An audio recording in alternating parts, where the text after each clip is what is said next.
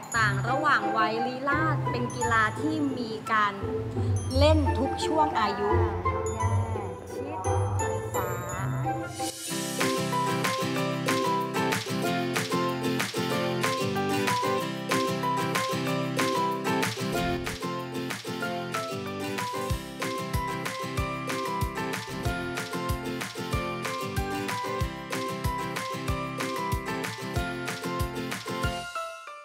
ผู้ชมคะวัยที่แตกต่างไม่ใช่อุปสรรคในการเล่นกีฬา แล้วปัจจุบันนี้มีกีฬาอยู่มากมายหลากหลายชนิดที่คนต่างวัยแต่มีความสนใจตรงกันค่ะ นี่แหละค่ะคือเสน่ห์ของการเล่นกีฬานอกจากเราจะได้มาออกกำลังกายเพื่อรักษาสุขภาพแล้ว ยังได้มาพบปะพูดคุยกับเพื่อนฝูงในสังคมของคนรักสุขภาพอีกด้วยค่ะบรรยากาศยามเย็นของทุกๆวัน ประชาชนจะเดินทางมาออกกำลังกายที่ศูนย์กีฬารามอินทานี้เป็นจำนวนมาก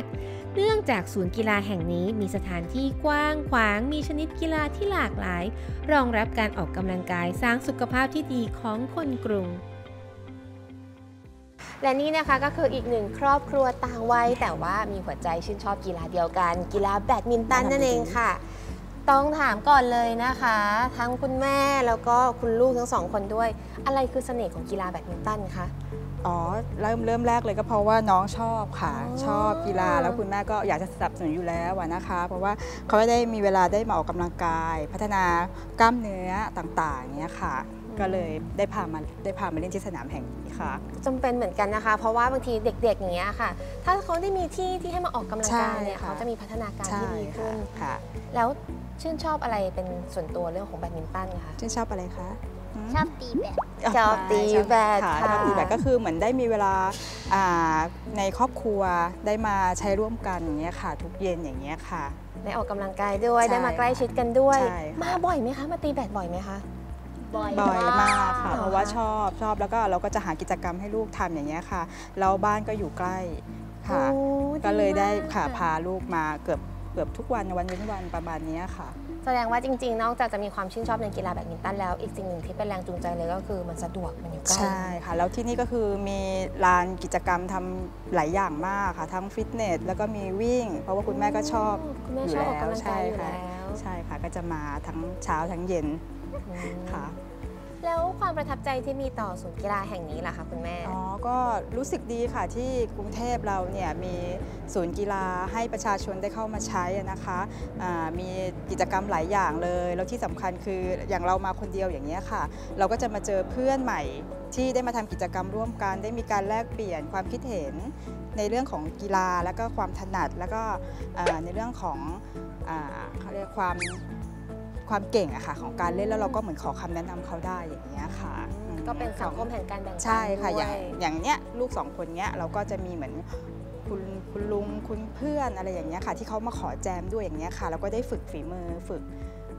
กีฬาไปในตัวด้วยอย่างเงี้ยค่ะ ได้เรื่องออกกำลังกายได้เรื่องสังคมได้เพื่อนรื่องเพื่อนใหม่ใช่มีสังค่ะคมดีๆด้วยใช่โอ้ค่ะโหแสดงว่าที่นี่นี่ครบวงจรเลยจริง ๆ ค่ะ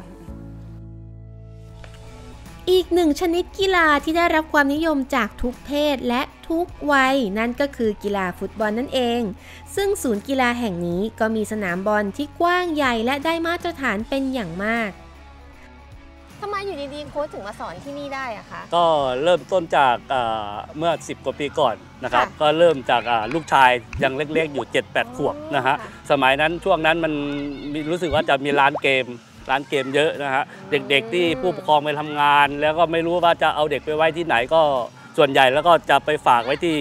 กับเจ้าของร้านเกมอ่าอ่าทำให้เด็กอ่าติดเกมติดเกมผมก็เลยอ่าพาเด็กๆออกมาตั้งตั้งตั้งเป็นทีมเอามาฝึกสอนฟุตบอลนะฮะแปดขวบเจ็ดแปดขวบอ๋อค่ะรุ่นรุ่นรุ่นเล็กล่าสุดนะฮะรุ่นเนี้ยเจ็ดขวบเจ็ดขวบ นี่ก็12ขวบ นี่ก็มาประมาณ4 5รุ่นได้แล้วครับ ชอบเล่นฟุตบอลไหมคะ ชอบครับ ชอบเล่นฟุตบอลแล้วมีนักกีฬาในดวงใจไหมนักกีฬาฟุตบอลที่เราชอบมากมีครับใครคะโรเบโตคาร์ลอสครับอ้าวแล้วทีมที่ชอบล่ะทีมเดียวกันปะแมนยูครับวัยที่แตกต่างเนี่ยมันเป็นอุปสรรคในการเล่นกีฬาอย่างฟุตบอลไหมคะเอ่อวัยที่แตกต่างเป็นอุปสรรคหรือไม่ คิดว่าไม่นะฮะเพราะว่าอ่าเราแต่ละวัยแต่ละช่วงที่เราทำการการเรียนการสอนการฝึกการซ้อมนะฮะก็รุ่นเล็กๆ นะฮะห้าหกขวบ เราก็จะสอนอให้รู้จักวิ่ง รู้จัก step เท้านะฮะส่วนโตขึ้นมาอย่างเล่นได้อย่างนี้อย่าง 7-8 ขวบที่ที่เล่นได้แล้วนะนี่ก็ผ่านไป 1 ปีนะฮะก็สามารถที่จะ skill บอลได้เลี้ยงบอลได้ แล้วก็สามารถที่จะทำทำประตูได้ นี่ก็ก็ก็ขึ้นมาเล่นอีกชุดหนึ่งนะฮะส่วนชุด โตขึ้นมาหน่อยชุด 12 ปีนี่ก็เขาก็จะมีการพัฒนาขึ้นมาตั้งแต่เขาเล่นเล็ก ๆ มาแล้วนะฮะสังคมแห่งการรักสุขภาพทำให้เราได้เจอเพื่อนใหม่เยอะแยะมากมาย อีกหนึ่งกิจกรรมนันทนาการดีๆ ของศูนย์กีฬารามอินทรานั่นก็คือการเต้นลีลาด ซึ่งในช่วงเย็นๆของทุกวันบรรดานักลีลาดตัวตึงตัวเต็งในย่านนี้ ก็จะออกมาขยับสะโพกโชว์ความพริ้วไหวไปกับเสียงเพลงทำไมถึงมาสอนลีลาดที่นี่ได้คะ เดี๋ยวต้องยกคำถามนี้ให้กับครูเอกอ่างั้นให้ครูเอ็กซ์ตอบเลยค่ะ ว่าทำไมอยู่ดีถึงมาสอนลีลาดให้กับอ่าศูนย์กีฬาพ่อพี่พี่ใช่ไหมคะสมาชิกที่อยู่ในวงการนะครับ รู้จักรู้จักผมอยู่แล้ว แล้วเขาเนี่ยพื้นพื้นพื้นเพเขาเขาอยู่ละแวกนี้ เขาก็ก็ชวนชวนให้ผมเนี่ยเอ้ยลองมาสมัครที่นี่หน่อย เพราะว่าอยากจะเรียนกับอ๋อกับผเรียนกับมครูเอ็กซ์ใช่อ่าผมก็เลยมาสมัครแล้วก็ได้มาสอนที่นี่ครับ แสดงว่าที่นี่เนี่ยพื้นฐานก็คือมีกลุ่มคนที่ชอบเต้นลีลาดอยู่แล้ว ใช่ใช่แล้วตอนนี้ล่ะคะครูเอ็กซ์มีคนมาเรียนลีลาดเยอะไหมคะ เยอะไหมเยอะครับ เยอะไหม เยอะนะคะ เฉพาะที่ศูนย์กีฬารามอินทราเนี่ยเราจะมีสอนลีลาดทั้งหมดเลย 7 วัน 7 วันเนี่ยจะมีลีลาดทุกวันช่วงเย็นนะคะ แต่เฉพาะของครูเอ็กซ์เนี่ยก็จะเป็นวันจันทร์และอังคาร ฟังแบบนี้ปุ๊บแล้ว อยากลองมากเลยค่ะ แต่ว่าถ้าสมมติว่าไม่เคยเต้นมาก่อนเลยอย่างเงี้ยค่ะ คุณครูทั้งสองท่านจะมีอะไรแนะนำบ้างไหมคะสำหรับใครที่ไม่เคยมาเต้นที่นี่เลยอะค่ะ ครับก็เราจะมี figure นะครับหรือว่า step พื้นฐานสำหรับสำหรับสมาชิกที่เพิ่งหัดเริ่มค่ะ เต้นนะครับ เป็น basic ง่าย ๆสำหรับเป็นการหลอกให้เข้ามาเต้นรำกันก่อนแล้วพอติดปุ๊บ ก็จะมาเป็นสมาชิกที่นี่ค่อยๆใส่อะไรอย่างเงี้ยค่ะ ใช่ นี่ต้องขอลองแล้วค่ะ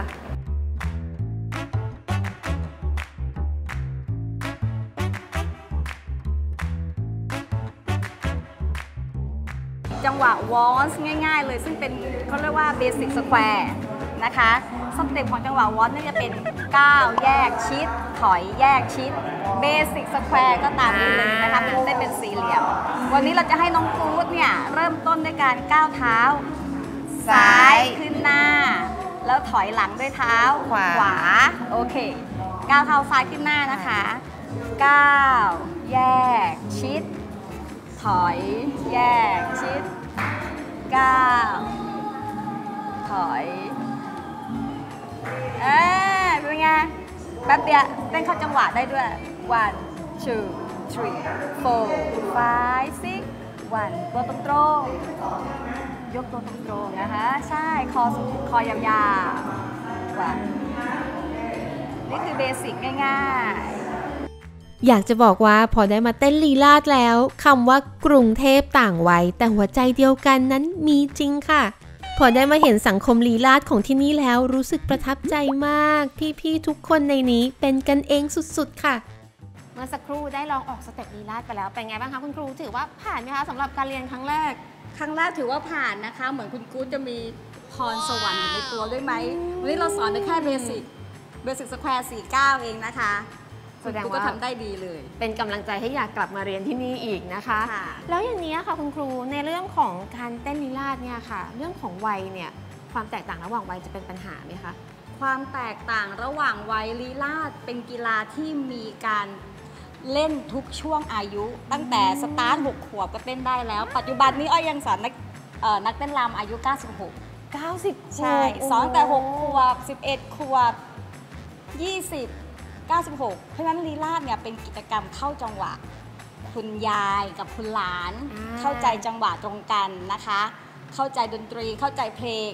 เราก็เต้นด้วยกันได้ อายุไม่เกี่ยงค่ะ ถ้าใจชอบนะคะ ได้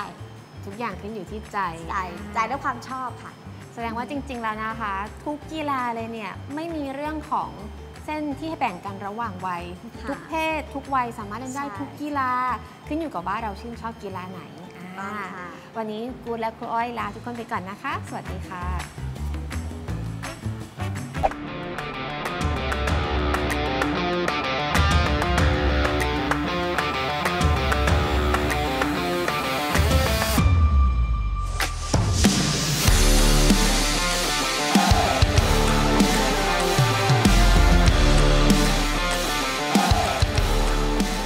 สนับสนุนโดยกองการกีฬา สำนักวัฒนธรรมกีฬาและการท่องเที่ยว กรุงเทพมหานคร